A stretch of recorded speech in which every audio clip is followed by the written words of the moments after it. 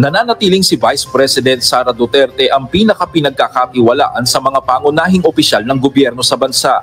Batay sa pinakabagong online survey ng Tangere App, nakakuha ng 60% na trust rating si BP Duterte Ayan oh. Oh, wait, balikan natin. Nakakuha ng 60%. Oh, ayan na nakakuha ng 60% si ano si Inday Sara sa trust rating at uh, 18% lang ang mga ayaw sa kanya. Kasama na dyan yung mga alimuom vloggers. Alam mo yung alimuom? Alam niyo yung alimuom mga boss? Yung ang init-init ng araw biglang umulan ng mga 15 seconds. Tapos uh, yung yung yung ay, yung singaw nung ano, yung singaw nung kalsada, yun yung alimuom. Yung mga vlogger sa kabila, ganun ang mga muka. Mukhang mababaho.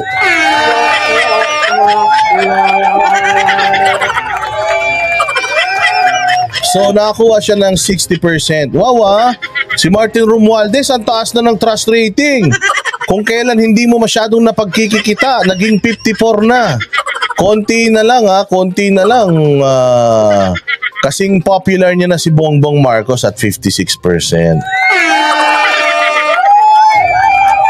So, ang Chief Justice natin ay merong 43%. So, yung uh, top 3, which is si Martin, si Bongbong, and si Sarah, o oh, 60% si Inday. Pero, kasama ang palad, bumaba yung kanyang trust rating from 62 naging 60. Oo, ha? Tapos, um, yung pero magtataka ka. Magtataka ka ha. Ito yung hindi ko maintindihan. Yung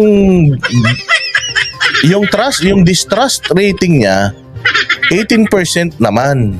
Pero yung kanyang yung Ah, so ibig sabihin yung 2% doon sa nagtitiwala nung April kay Inday Sara ay hindi naman sumama sa mga bashers. Napunta lang sila sa undecided, parang nagtampo. Hmm, tampo yung 2%.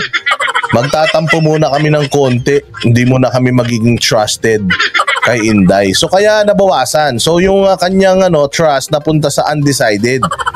Hindi siya napunta sa distrust. Oh. Ganun din, Ganon din kay ano, ito nakakatawa, ganon din kay Bongbong Marcos, yung distrust, nagstay lang siya to 24%. Kumbaga, yung pag-improve niya, yung undecided na 1%, eh nag-decide na, o sige na nga, love ko na si Bongbong Marcos. So kaya naging 56, so tumaas siya. Ito, ito nakakatuwa dito kay ano kay Martin Romualdez. Kahit taasan mo yung uh, trust rating niya, tingnan mo, di ba? Ma- mas tumaas pa ngayon yung buisit sa kanya nung uh, April 20% tumaas pa ngayon ng 1% yung buisit sa kanya. So hindi katulad kay Inday Sara na, uh, na parehas lang tsaka kay Bongbong Marcos na parehas lang yung distrust o yung galit sa kanila o yung ayaw sa kanila. Dito kay Romualdez nadagdagan pa.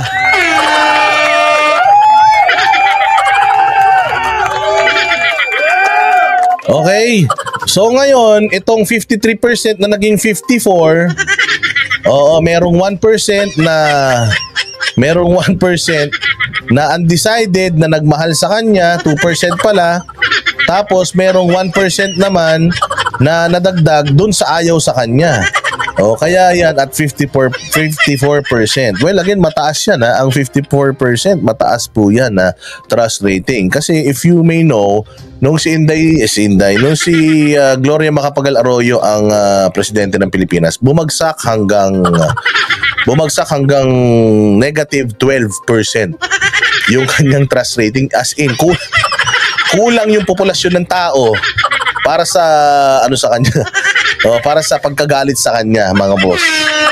But anyways, um, bumaba man ng 2%, uh, still, uh, nasa taas pa din siya. Hindi natin alam kung hihilahin na yan pa unti-unti, hihilahin na yan pababa. Uh, but still, um, ano pa rin siya, she's the most trusted amongst everyone. Which is, alam naman natin na yan yung katotohanan. Pero hindi tayo naniniwala dyan sa 60% na number na yan. I think it's uh, gonna be a little bit higher, like 70. Pero definitely not 60 or not 62. Pero okay na din, at least kahit papaano, mataas pa naman, siya pa rin naman ang pinakamataas at alam naman natin ang gagawin nila dyan. Pa unti-unti, hihilain na nila ng hihilain yan hanggang sa paniwalain na nila yung tao na mas mahal na ng tao si Martin Romualdez kaysa kay Inday Sara. Because sa totoo lang, Oo, sa totoo lang, itong ano naman na ito, itong mga ganitong survey naman kay Marcos, wala naman ng ano yan eh. Wala na siyang uh, effect, wala nang effect kay uh, Bongbong Marcos yan. Because again, itong mga survey naman, hindi naman yan magpapababa, magpapabagsak sa isang presidente.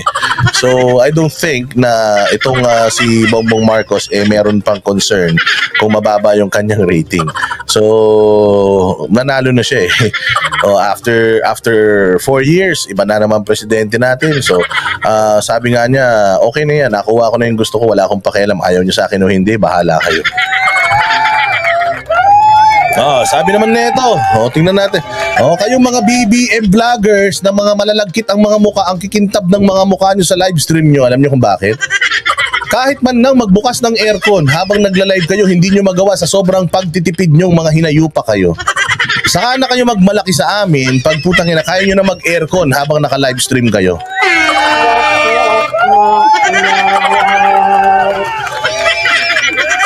Okay. O, oh, Freddy Valera ha. Tangina. Yung mga effort, effort, effort, effort din. Okay, effort, effort sa pag-research. Wag puro content na, wag puro vlogger yung kino-content. Okay? Gawa-gawa rin ng paraan. Hanap-hanap din ng balitang maganda para tulungan nyo naman si Marcos. Putang ina, hindi naman nakakabu nakakatulong kay Marcos yung ginagawa niyong pambabas sa mga kapwa niyo vlogger. Ang dami-dami nyo. Sana man lang pagsamasamahin niyo yung mga kakapiranggot na mga kukote ninyo at maghanap kayo ng magagandang mga ginagawa ng administrasyon, ibalita nyo para paniwalaan nyo yung mga sarili nyo na nasa magandang Pilipinas na tayo. Pero hanggat mas marami kaming nakikitang pangit kaysa sa mga magandang pinaggagawa nyo, eh ibig sabihin pare-parehas kayong mga bobo. Okay? Kaya kahit sabihin pa niya na ang laki ng katawan, ang liit ng utak, eh ano ngayon? ano naman? Ikaw, ikaw na matalino.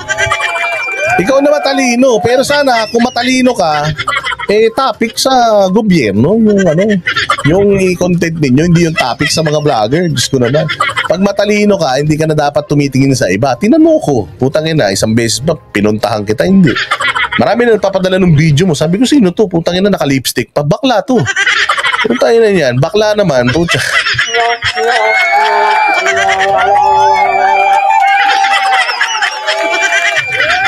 Puros kayo kabaklaan, puros kayo chismis. Tulo, tulungan nyo si, ano, si Bongbong para makaahon tayo sa hirap. Hindi yung puta.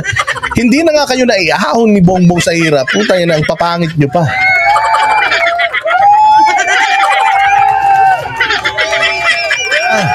Oh, hindi ko na kaya, hindi ko na kailangan ano. Alam mo, yung mga ganyang may nakita pa ako mga TikTok tiktok sasayaw sayo. Putang ina niyan. Ano ka, macho dancer ka dati? Walang hiya. Hindi ko na kailangan gawin niya. Magsayaw-sayaw pa diyan para lang kumita ng pera. Buta. Ito lang mukhang to. Kumikita na to ng pera. Oh, kaya yung mga ganyang comment-comment nyo na sabi ni ganito, ganyan, okay lang.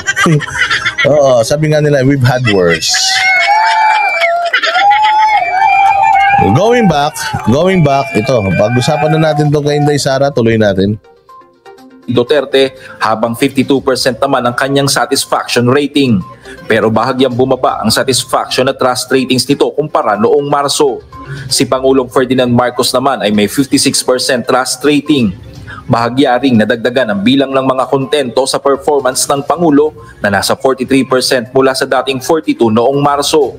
Mapapansin din na magkakapareho ang trust ratings ni dating Senate President Mig Subiri at House Speaker Martin Romualdez. Ginawa ang survey nitong May 22 hanggang 25 na sinagutan ng 2,000 participants.